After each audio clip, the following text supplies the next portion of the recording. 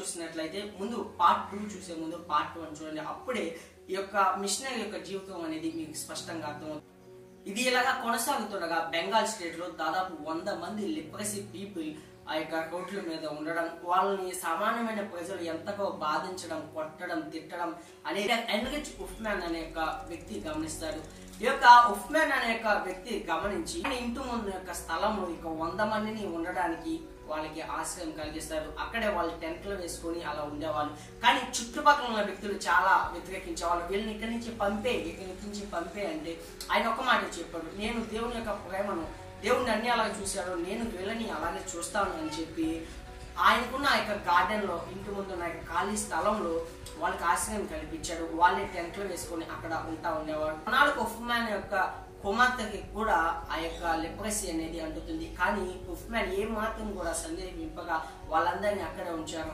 చుట్టుపక్కల ఉన్న వాళ్ళకు వచ్చింది యొక్క కుమార్తె కూడా ఇది అంటుంది. వీళ్ళనందరినీ పంపించే అన్నా సరే ఇది దేవుని ప్రేమ అని ఖచ్చితంగా వాళ్ళ కోసం నిలబడ్డాడు. ఇలా కొన- ఈ యొక్క విషయాన్ని తెలుసుకున్న బేలే పద్దెనిమిది వందల ఎనభై ఏడులో మగవాళ్ళ కోసం ప్రత్యేకంగా ఐదు గృహాల్ని అలాగే స్త్రీల కోసం ప్రత్యేకంగా ఎనిమిది గృహాల్ని వాళ్ళ కోసం కట్టించి ఇచ్చాడు. మూడు సంవత్సరాలు ఇది కొనసాగుతుండగా మూడు సంవత్సరాల తర్వాత దాదాపు సిక్స్టీ బిల్డింగ్స్ గాను అలాగే ఏడు వందల మంది ఆ యొక్క కుష్టి వ్యాధి గల వ్యక్తులు అక్కడ ఆశ కొన్నాళ్ళకి ఉఫ్మ్యాన్ ఈ యొక్క కుష్టి వ్యాధి గల వారి పిల్లలు చాలా హెల్దీగా ఉండడం అనేది గమనిస్తాడు. కలిగి వాళ్ళ తల్లిదండ్రులకి ఉన్న యొక్క కుష్టి వ్యాధి యొక్క పిల్లలకి అంటకుండా వాళ్ళు ఆరోగ్యంగా ఉన్న స్థితిలో నుంచి వాళ్ళని పక్కకి తీసేసి సపరేట్గా గర్ల్స్కి సపరేట్గా అలాగే బాయ్స్కి సపరేట్ గా వాళ్ళు హోమ్స్ అనేది స్టార్ట్ చేస్తారు. ఇలాగా దాదాపు డెబ్బై మంది పిల్లల్ని వాళ్ళ తల్లిదండ్రుల దగ్గర నుంచి సపరేట్ చేసి వాళ్ళకి ప్రత్యేకమైన గృహాలని ఏర్పాటు చేసి దాదాపుగా వాళ్ళు ఉన్నతమైన స్థాయికి వెళ్ళేదాకా కూడా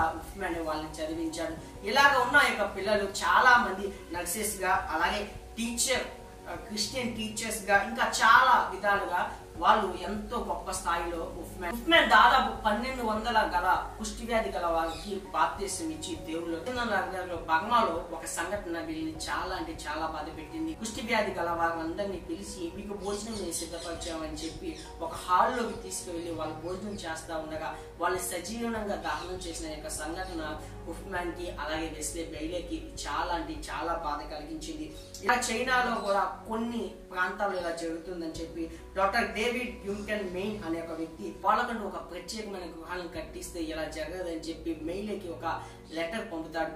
దాన్ని గమనించిన బెయిలే ఏం చేస్తాడంటే వాళ్ళకంటూ ఒక ప్రత్యేకమైన గృహాల్ని చైనాలో కట్టడానికి దేవుడు ఎంతగానో వాళ్ళకి సహాయం చేస్తాడు. ఇలాగా ఎన్నో ప్రాంతాల్లో India China Africa New Zealand Australia Philippines Japan Malaysia Singapore ఇలాగ చాలా అంటే చాలా యొక్క ప్రాంతాల్లో వెస్లే బెయిలీ ఆయన యొక్క సేవని మొదలు పెడతారు. మిషన్ ఆఫ్ లీపర్స్ అనే ఆర్గనైజేషన్ ద్వారా ఎంతో మందికి కుష్ఠవారిని చేగదీసి వాళ్ళకంటూ ఒక ప్రత్యేకమైన గృహాల్ని నిర్మించి వాళ్ళకంటూ ఒక భద్రత బెయిలీ కలిగిస్తాడు దేవుని యొక్క ప్రేమను కలిగిన యొక్క బెయిలీ ఏం చేస్తాడంటే వాళ్ళు ఖాళీగా అక్కడ కూర్చోకుండా ఖాళీగా అక్కడ ఏం చేయకుండా వాళ్ళకంటూ వాళ్ళే వ్యవసాయం చేసుకోవడానికి అవకాశం కల్పిస్తాడు. వాళ్ళకంటూ వాళ్ళ సొంత పనిని చేసుకునే అవకాశాన్ని వాళ్ళకి కలిగిస్తాడు ఏదో జబ్బు చేసింది మేము ఇక హోమ్లో పడేసాం మమ్మల్ని అన్న యొక్క బాధ నుంచి బయటపడటానికి వాళ్ళ సొంతంగా వాళ్ళు పని చేసుకునే యొక్క అవకాశాన్ని వెస్లే బెయిలే అలాగే ఉఫ్మెన్ అనే వాళ్ళు వాళ్ళకి ఆ యొక్క ప్రత్యేకమైన పనిని వాళ్ళకి కల్పిస్తారు. అలాగుంటూ వాళ్ళు వ్యవసాయం చేశారు.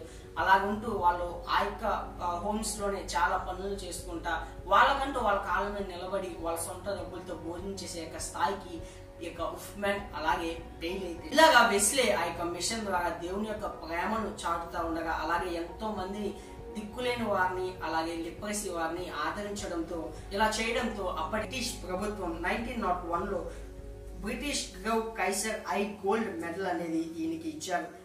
పంతొమ్మిది వందల పదిలో మెడికల్ మిషన్ అసోసియేషన్ ఆఫ్ ఇండియాకి ఈయన ప్రెసిడెంట్గా వ్యవహరించారు. పంతొమ్మిది వందల తొమ్మిదిలో ఇండియన్ మెడికల్ కాంగ్రెస్కి ఈయన వైస్ ప్రెసిడెంట్గా పనిచేశారు. పంతొమ్మిది వందల పదిలో మెడికల్ మిషన్ అసోసియేషన్ ఆఫ్ ఇండియాకి ఈయన ప్రెసిడెంట్గా పనిచేశారు. చివరికి తన దేవుడిచ్చిన యొక్క భారాన్ని సంపూర్ణంగా పూర్తి చేసి పంతొమ్మిది వందల ముప్పై ఏడులో దేవుని యొక్క సన్నిధానికి దేవుని యొక్క రాజ్యానికి చేర్చబడ్డారు.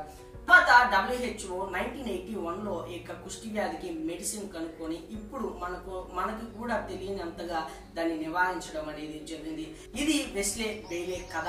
తను కలిగిన యొక్క భాగాన్ని ఒక వ్యక్తి నుంచి స్ఫూర్తి పొంది దేవుని యొక్క సేవ చేయాలనే యొక్క స్ఫూర్తి పొంది ఎంతో మంది లిప్రసీ పీపుల్కి ఎంతో మంది అనాథలకు కూడా ఈ నాశనం కల్పించడానికి దేవుని యొక్క ప్రేమ ఎంతగానో ఉపయోగపడింది.